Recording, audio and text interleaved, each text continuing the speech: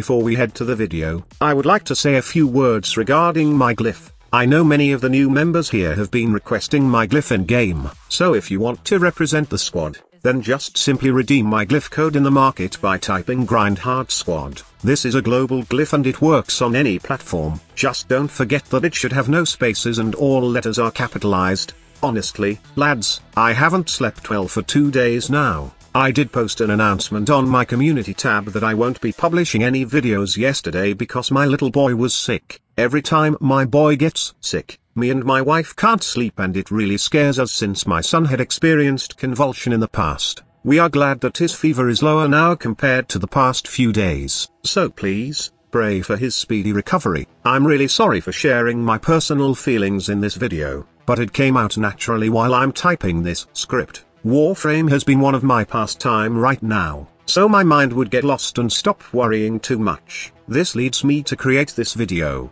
I spent hours testing builds and wasting resources just to make my Garuda setup better. Don't get me wrong, we all know that Garuda is great because of her Seeking Talons and Dreadward nuke combo, but the problem I always have with this kind of setup is it requires too many steps. Also, Charging Dreadward takes a lot of energy and for all that effort, you will just wipe out a group of targets and not the whole room. I'm not saying that this is a nuker Garuda is bad, and some of you have witnessed her nuking power on this channel. It's just, not everyone wants to do it because they think it's slow and it needs some effort to make it worthwhile. That is why I decided to tinker with my Garuda build, and end up with a couple of interesting finds.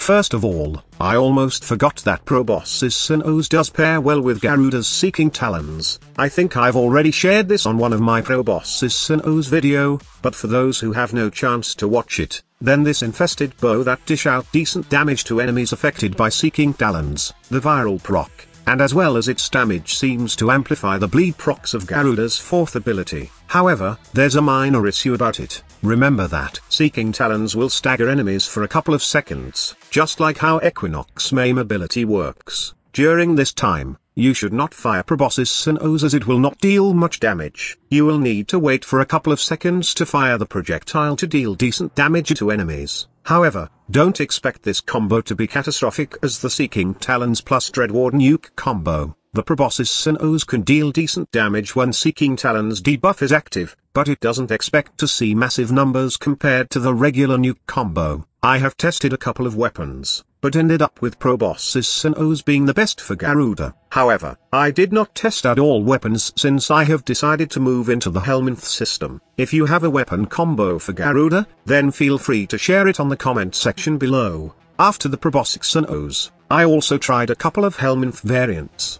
First is the combination of Saryn's Molt and Garuda's Blood Altar. I know it's not meant for the nuker setup, but this does allow Garuda to have good survivability. Saryn's Molt does not only add healing to Garuda, but the short crowd control allows you to perform that nuking trick without being disturbed. But then, I remembered that there are two subsumed abilities that are way better if my goal is to not get disturbed by the enemies while performing the nuking combo. Why would I even bother adding healing and mediocre CC when I can go full map control with either Shooting Gallery or Octavia's Resonator? Adding a high range in the build allows me to solve the problem. Also, if I choose Octavia's Resonator, then I can equip its augment which lures enemies in one spot, giving me more control on the floor and making it easy to nuke a bunch of enemies. Theoretically, it's a good combination but in reality, it will end up messing Garuda's build. Both Resonator and Shooting Gallery needs max range and if we put overextended in Garuda's build, then we will need to add more power strength mods just to get back the needed power strength for the bleed chance on Seeking Talons. Then, I tried out Defy. I did not do this to get more armor value but, Defy as some decent nuke damage when it absorbs damage from enemies. It's perfect when combined with Seeking Talons since the bleed procs get amplified once you've hit enemies with Defy while they are affected by Garuda's ultimate ability. I tested this setup in a couple of missions, and I was surprised how well it performs in Steel Path missions. It's pretty decent once Defy accumulates damage but there are a couple of things that you need to consider. One is that you will always need to be on a flat surface to cast Defy, otherwise, enemies that are not within the elevation of the ability will not get hit. Also, you will need something to pull enemies closer to melee range, as Defy doesn't have that high radius to hit all enemies in a room. Lastly, you should also know that Dread Mirror and Defy don't work well together. Garuda's first ability does block frontal damage and this would hinder you from absorbing more damage for Defy when this skill is active. In most cases, I ended up showing my back to the enemies just to get all the damage absorption. The combo may also have its flaws, but it's somehow an efficient new combo compared to the usual Seeking Talons plus Dreadward combo. But then again,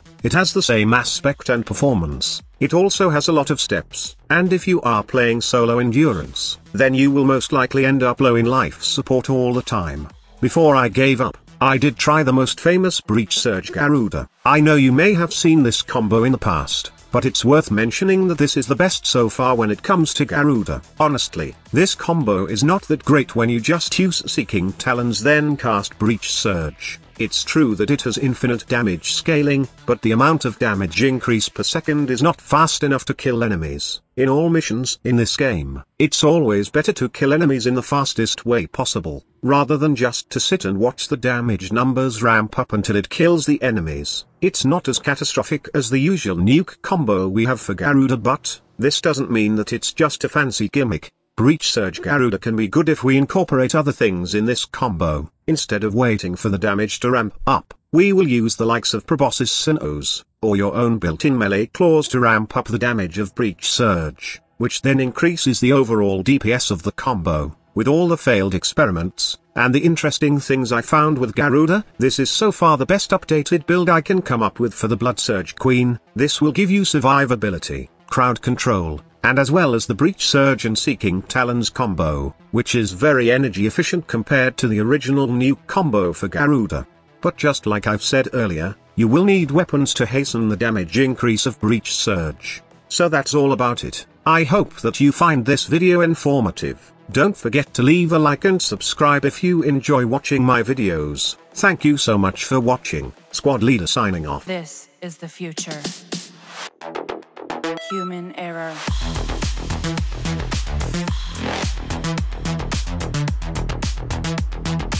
Evolution.